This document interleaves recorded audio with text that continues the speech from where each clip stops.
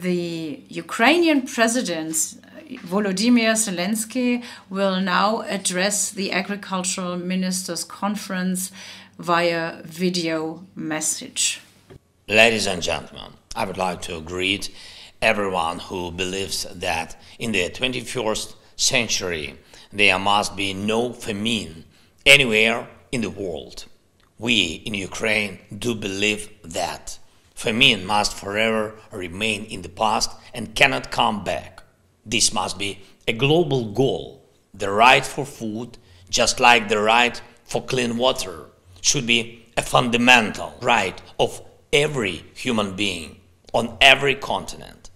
And anyone who tries to deprive people of food or water is an enemy not only to those who are doomed to starve or suffer from thirst, but also is an enemy to humanity. We must defeat such enemies together. Ukraine has always been and will always be a responsible participant in global food market relations. Even having suffered from terrorist aggression from Russia, we continue to supply food to the countries all over the world. Although Russia has blocked our ports on the Black Sea, we have found a diplomatic way to resume exports, and I would like to express my gratitude to the Secretary General of the United Nations, Mr. Guterres, and to the President of the Republic of Turkey, Mr. Erdogan, for their timely and effective participation, which resulted in the Black Sea Grain Initiative. These brought millions of tons of Ukrainian products back to the world market. Although Russia continues to launch missile attacks at our infrastructure, including ports and transport, and continuous brutal battles in the regions that are extremely important for the agricultural production. Ukrainian farmers continue to cultivate the fields. This is our moral constant.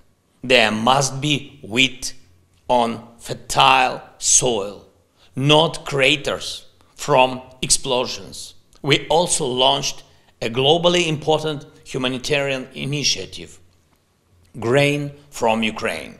We attract the support from developed countries to buy grain and charter ships in order to supply humanitarian food to the countries which suffer from the threat of famine most of all. And I express my gratitude to everyone who is implementing the initiative Grain from Ukraine with us.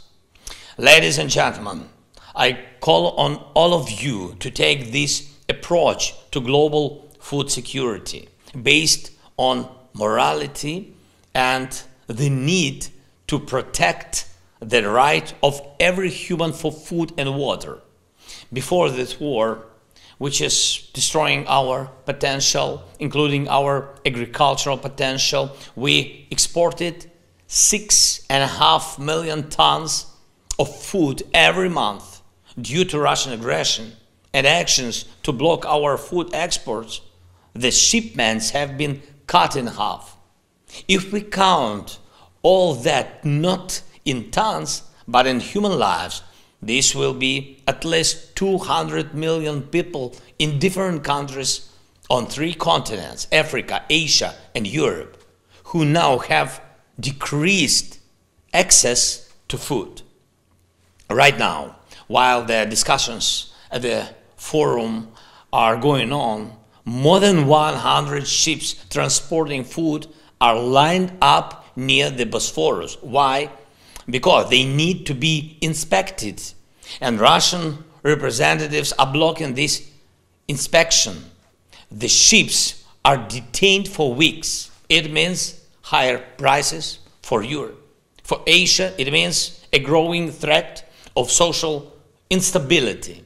In Africa, for such countries as Ethiopia or Sudan, it means empty tables for thousands and thousands of families.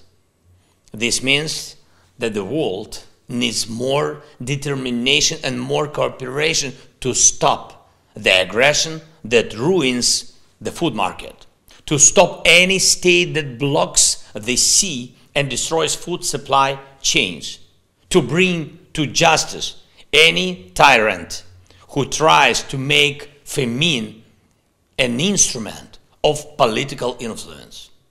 Is it possible to overcome famine? Yes. Is it possible to guarantee food security? Yes. Is it possible to stabilize food prices on the world market? Yes, it is. But to do so, we need to punish the aggressors and to help countries on the edge of famine. This is exactly what Ukraine is doing. This is exactly what our partners are doing. I encourage everyone to join in. Join our initiative Grain from Ukraine. Join our initiative to create food hubs in Africa, in the regions that are critically dependent on food imports. Get involved in the implementation of the Ukrainian peace formula, which will stop Russian aggression and restore international law and order in Europe. Thank you for your attention, and I invite you to Kiev to make concrete arrangements. Slava Ukraini!